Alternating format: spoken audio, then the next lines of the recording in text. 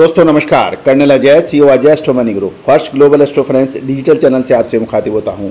दोस्तों, Ajay astro money गुरु देश का पहला चैनल है जो मसाले पर लगातार अपडेट और विश्लेषण देता है।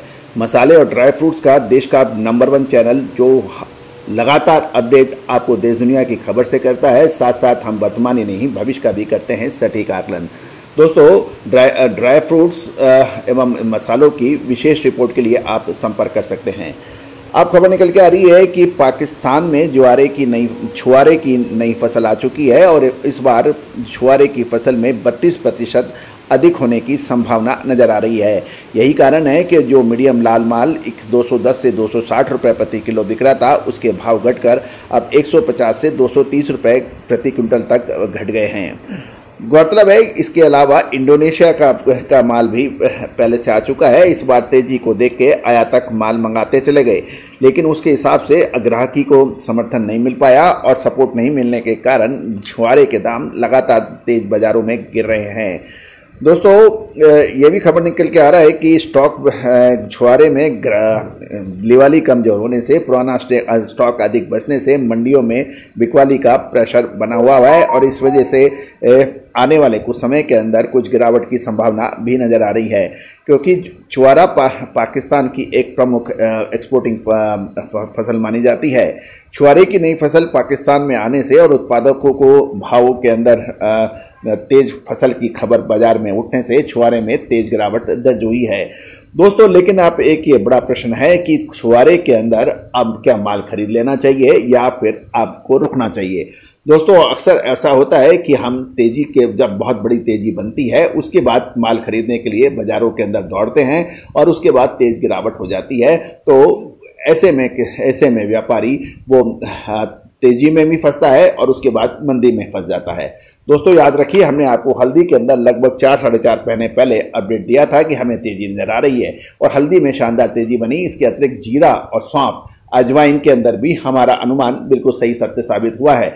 मेथी के के अंदर भी हमने आपको जो लगातार अपडेट दिए हैं, उसके ऊपर भी हमारा अनुमान सत्य साबित हुआ। साथ साथ किशमिश और काजू के अंदर भी गिरावट की अग्रिम विश्लेषण दिया था, जो कि सत्य साबित हुए हैं। दोस्तों, आप यदि ड्राई फ्रूट्स या स्पाइसेस के स्टॉकिस्ट हैं होलसेलर्स हैं, या फिर मसाला उद्योग चलाते हैं तो हमारी अग्रिम विशेष रिपोर्ट आपको फ़ायदा दिलाने में मदद करती है। न केवल हम देश दुनिया की खबर से आपको रूबरू कराते हैं, अतः सही समय पर, निचले के भाव पर आपको अनुमान देते हैं, जो कि सत्य साबित होता है। याद रखिए, जीरे के अंदर लगभग साल भर पहले, सबसे पहले हमने आपको अनुमान दिया थी कहाँ से तेज़ी आ रही है। उसके बाद देखिए, जीरे ने लगभग दो गुने से ज़्यादा फ़ायदा आपको दिखाया है। साथ साथ आप देखिए धनिए के अंदर जब लगातार गिरावट हो रही थी, उस वक्त हमने आपको निचले स्तर पर खरीद धनिए के अंदर खरीदारी की बात कही थी, जबकि धनिए की दोगुने से अधिक फ़सल और और न जाने क्या क्या बातें बाज़ार में चली थी। उसके बाद धनिए ने निचले स्तर से शानदार रिकवरी दिखाई दी। हल्दी हो, धनिया हो, जीरा हो, लाल मिर्च हो या फिर काली मिर्च। छोटी और बड़ी इलायची जैसे मसालों के ऊपर आपको लगातार अपडेट और विश्लेषण हमारे द्वारा प्राप्त होता है। छोटी इलायची और बड़ी इलायची के बारे में भी ऑप्शन की क्या दरें रही, ये भी आप, हम आपको लगातार अपडेट और विश्लेषण प्रदान करते हैं। दोस्तों, मसाला हो या फिर तिलहन, दलहन या फिर ग्रेन्स इन सभी का देश का पहला चैनल जो जिस, जिसका विश्वास आज चाहे व्यापारी हो, चाहे किसान हो, चाहे इंपोर्टर हो, चाहे एक्सपोर्टर्स हो, वो हम लगातार करते हैं। दोस्तों, कल हम जीरा मीट में थे, शनिवार को। वहाँ पर जो विश्लेषण हुआ, उसका विश्लेषण हमने तीन महीने पहले बिल्कुल एग्जैक्ट विश्लेषण हमने आपको अपनी चैनल पे दिया था।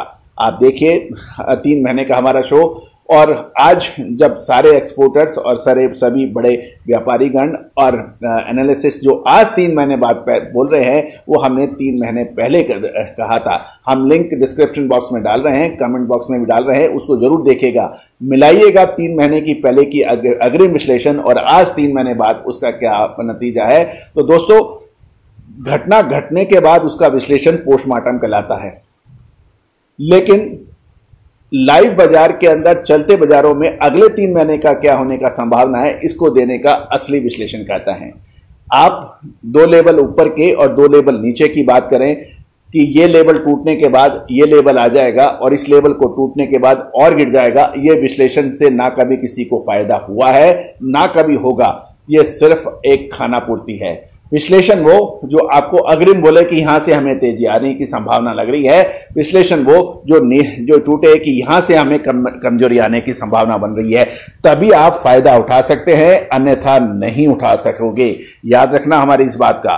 दोस्तों अधिक जानकारी के विश्लेषण के लिए आप हमसे संपर्क कर सकते हैं। नंबर स्क्रीन पर दिया गया है। All the very best good luck